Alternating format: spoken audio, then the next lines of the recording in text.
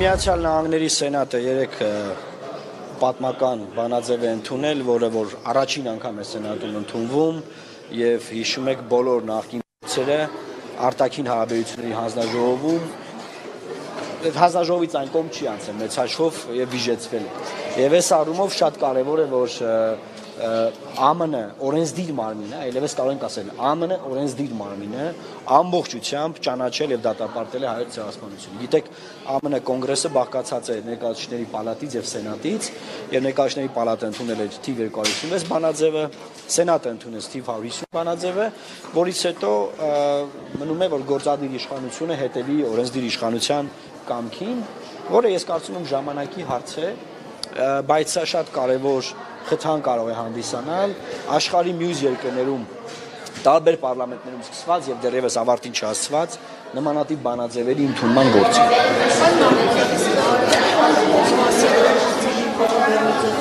Հետևանքը?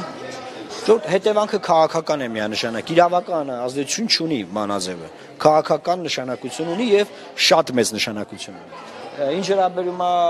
նախընտրական տարուն, ապա ես կարծում եմ, որ նախագահ Տրամփը կվերընտրվի, իմպիչմենտի գործընթացը չի հասնի ավարտին, այսինքն սենատը նրան կպաշտպանի։ Ես նկատի ունեի նախընտրական տարին այս բանաձևի առումով, հա, ինչ Տրամփի վերաբերմունքը այս բանաձևի։ Երեք Տրամփը այն նախագահն է, որը որ երբեք չի խոսել ցեղասպանությունը ճանաչելու մասին, բայց նրա օրոք ԱՄՆ կոնգրեսը ճանաչել է հայ ցեղասպանություն։ Սա հետաքրքիր հանգամանք է։ Իսկ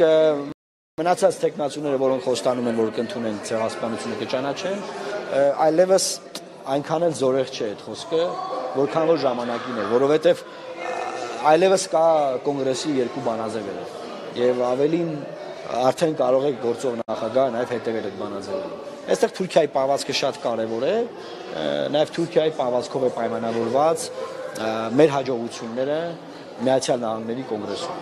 Այսինքն մեծ կռիվ է գնում, այդ կռվի մեջ մենք մեր խնդիրները առաջ ենք տանում եւ մենք բնականաբար շահում ենք։ Հարմարության շատ են ընդունները նաև բարբերաբար ասում են մասին, որ ասենք թե ճանաչեցին, ասենք թե Թրամփը խոսեց ցեղասպանության մասին, բայց արդյունք որպես այդպեսին ունենանք են Մարագան եւ Թուրքիայում դա ճանաչեցին ճանաչվի եւ Թուրքիան ընդունի վերջում կատարվել է 1915 ցեղասպանություն հայերին։ Այո, դա նորություն չի, որ Թուրքիան պետք է ճանաչի եւ Թուրքիան պետք է գործողություններ անի, ոչ թե այլ երկրների անելիքով կարող է Թուրքիան ինչ որ բան անել, բայց համաշխարային համամարտկային, հա, առաջադեմ երկրները, լավ, սենց ասեմ, առաջադեմ երկրների ընդունումը իր ազդեցությունը ունենում է Թուրքիայում կարծիքի ձևավորման վրա։ Եվ թուրքական հասարակությունում եւս մեկ անգամ սկսում են քննարկումներ, բանավեճեր։ Այսինքն սա զուտ քննարկումների տեղի կողմից ներքին խմորումների ներքին խմորումների, այո, իրավական որևէ հետևանք այն հիմա չունի։ Կա կարծիք նաև, որ նման բանավեճերը, բանաձևերը ազդում են Թուրքիայում ազգայնականության զարգացման վրա, որի մասին շատ է խոսել Հրանտ Դինքը, որ նման բանաձևերով ազգայնականությունն է աճում Թուրքիայում եւ հակառակ էֆեկտ է ունենում Թուրքիայի ներսի համար եմ սա ասում։ Սա էլ է կարծիք, սա էլ կա, բայց ես չեմ կարող ասել վստահաբար, որ սա ունի վատ ազդեցություն Թուրքիայի ներսում։ Այսինքն վերջին հաշվով մարդիկ ամեն մի նման դեպքով իրենց հարց են տալիս. բալավ ինչ ա եղել 100 տարի առաջ, բալավ մենք մեղք ունենք թե չունենք, եւ արդյոք մենք պետք է մեր պատմությունը քննարկենք թե ոչ։ Կա գաք այդ հարցը տակ ասեք։ Հիմա օգտագործեց, հիմա ինչ։ Հետեւաբար պետք չի ձևավորել այնպիսի ակնկալիքներ մեր ժողովրդի մոտ, որից հետո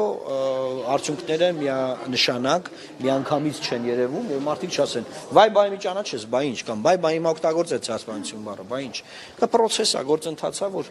այդ ամբողջ աշխարհով մեկ տարբեր ինստիտուտներում հասնում ենք նրան, որ հայոց ցեղասպանությունը դառնում է անբեկանելի, անքննարկելի փաստ։ Օրակարգում է դա միանշանակ։